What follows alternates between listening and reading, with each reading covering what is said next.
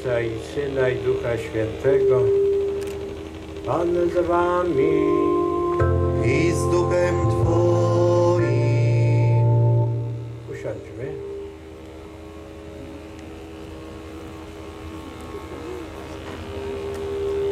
Jego Ekscelencjo, księże biskupie, mieszkańcy Milczaka witają w naszych skromnych progach.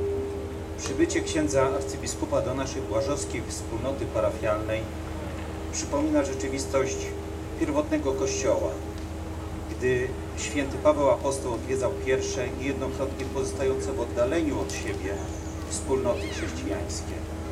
Wędrował do nich ze słowami wiary, nadziei i miłości, ciesząc się z ich radości lub słuchując się w ich smutki. Witając się serdecznie na, zie- na ziemskim skrawku naszej ojczyzny, pragniemy tak postrzegać Twoją, księże arcybiskupie, pasterską posługę wśród nas. Prosimy Cię z całego serca o błogosławieństwo dla naszej wspólnoty, która dziś, w tę ostatnią niedzielę maja, tak nakazuje miejscowa tradycja, zebrała się na skrzyżowaniu leśnych dróg na Wilczaku, by oddać cześć Najświętszej Pokrowicy.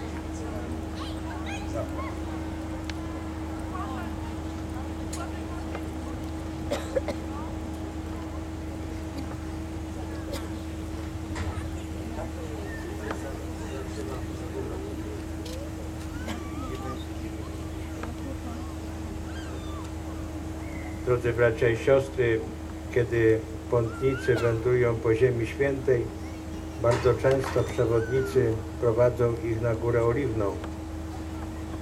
My też, my też dzisiaj idziemy na Górę Oliwną zgodnie z liturgią dnia dzisiejszego, z uroczystością niebowstąpienia Pańskiego.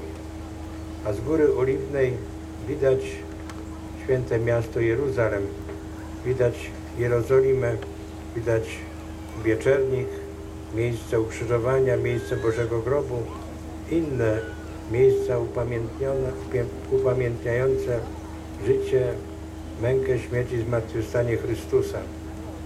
Kiedy dziś gromadzimy się tutaj przy ołtarzu, to też mamy okazję do popatrzenia wstecz na to, co wydarzyło się w okresie Wielkiego Postu, co wydarzyło się w tym świętym czasie wielkanocnym, ale mamy także okazję do popatrzenia w górę.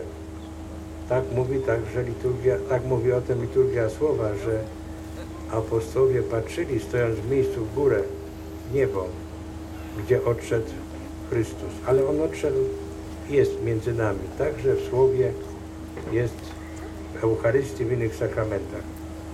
Módlmy się, aby krzyżowanie dróg tutaj na Wilczaku pomagało nam popatrzeć na tajemnicę naszej wiary, także na Matkę Bożą, która nam patronuje i by to skrzyżowanie dróg zawsze prowadziło nas na dobrą drogę do Pana Boga. Powstańmy. Przeprośmy Pana Boga za nasze grzechy, abyśmy z czystym sercem mogli uczestniczyć w tej najświętszej ofierze.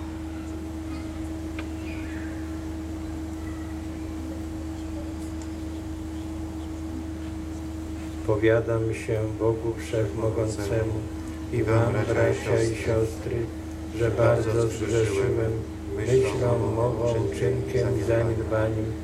Moja wina, moja wina, moja bardzo wielka wina. Przeto błagam Najświętszą Maryję, zawsze Dziewicę, wszystkich aniołów i świętych i Was, bracia i siostry, o modlitwę za mnie do Pana Boga naszego.